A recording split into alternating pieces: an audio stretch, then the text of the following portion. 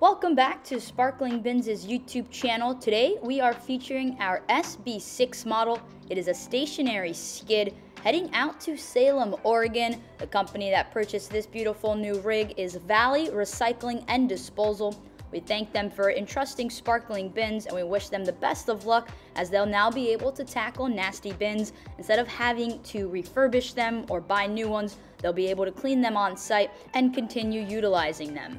This stationary skid is a dual bin system. It's a steel skid mounted 8x8 with a steel frame and aluminum planks. It has a 275 gallon gray hopper holding tank and also comes with a spring loaded 25 foot hose reel with an 18 inch trigger gun and a 25 foot hose. As you see here, it also comes forklift ready, so it is something that is easily movable once you get it on site. Once again, if you'd like more information on how to become your own boss, please visit us at sparklingbinsbusiness.com.